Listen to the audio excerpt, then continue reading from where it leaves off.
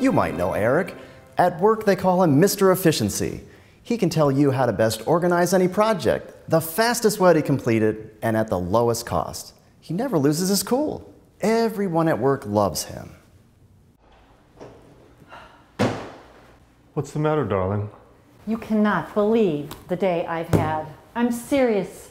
The traffic going to work was terrible. And then Ellie sprained her ankle at school, so I had to pick her up in the middle of the day.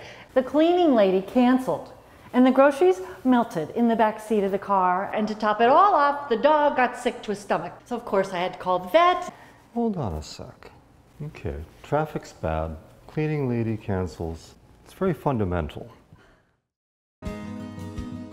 Eric decides to share with Heidi exactly how she could have avoided some of the problems she faced and prepare for them next time.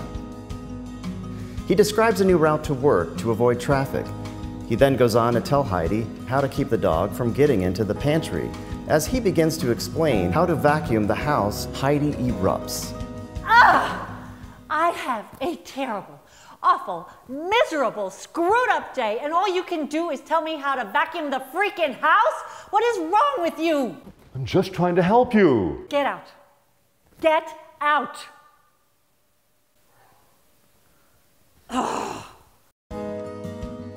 When he's able to catch his breath, Eric wonders, why was Heidi so angry? Business skills are very different from relationship skills. To be successful in love, we must listen. We must be empathetic, caring, and considerate of our partner's concerns. We should comfort them, not criticize them when they make mistakes. Let's try this again.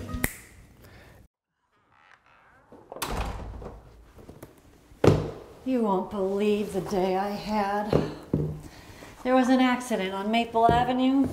So I was late for work this morning. And then Ellie texted me from school and she forgot her lunch and then and I can't even remember all the awful things that happened.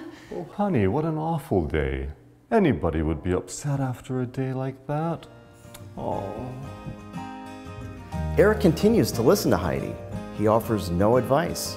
He lets Heidi rest while he prepares dinner. With Eric's support, Heidi calms down. Problem solved. Eric is still Eric Efficiency in his office, but he has learned to be empathetic Eric at home. Taking these steps have turned this power struggle into a power snuggle. Visit powersnuggles.com. Power Snuggles, your path to vibrant and lasting love by Jon and Beverly Meyerson.